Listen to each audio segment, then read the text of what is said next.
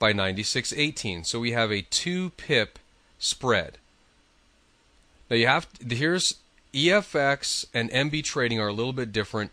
Remember I said that that not all brokers charge a com- that not all brokers will not charge a commission. Well, the EFX company as well as MB Trading, you are going to be able to deal directly with a bank. So you have a much narrower spread. In fact, you can see here, look, the euro is at this is what's called a choice spread. Look at that. You can buy and sell at the same price. This is a very narrow spread. Let me give you an example.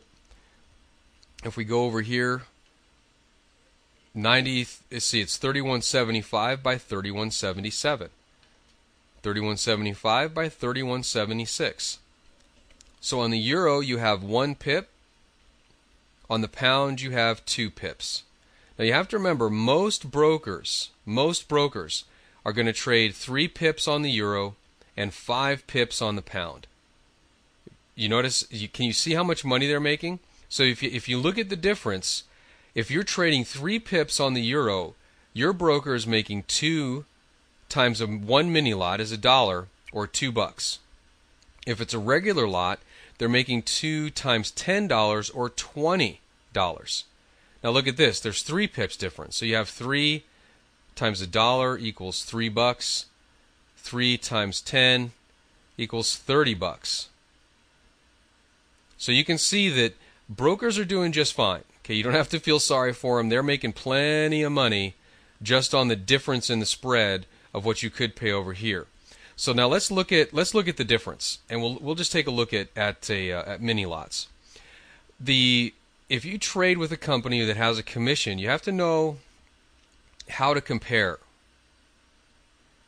So if you're trading a commission,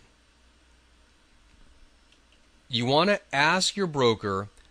Don't worry about the cal- they're going to have a calculation on their homepage. Forget about that. Don't worry about the calculation, okay?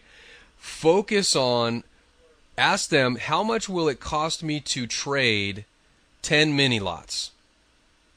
That's what you want to know. So if you're trading 10 mini lots of the you want you, you, here's what you ask them. How much will it cost me to trade 10 10 GBP USD mini lots? It's exactly what you can what you have to ask them.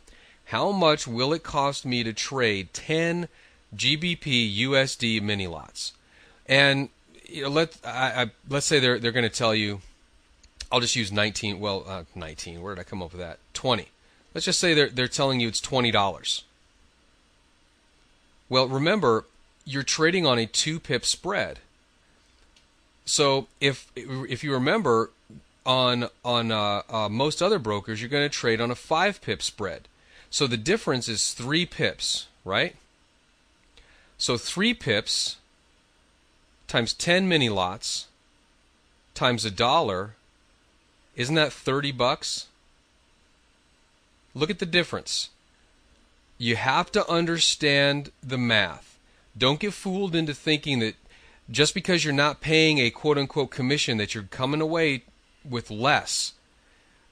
If you go with the broker that has a 5 pip spread, remember, if this is if you're trading on a 5 pip spread over here, and you're trading on a two pip spread up here, you are saving $10 per trade even if they charge you 20 bucks. So so keep that in mind. You have to understand how that works. Okay, so enough said on that. I think yeah, it's it's a hidden cost that you have to understand and you have to deal with. Um, but it, when you know what you're doing and you can really compare dollars dollar for dollar, then you've got a, a, a, lot of power in your hands. Now, I, I want to deal with, I want to talk about uh, uh, something else a little bit here. If let's say you're trading um, the futures contract. Now, here's here's a common misconception. If you're trading a futures contract and you're trading the, the British pound U.S. dollar, you're in your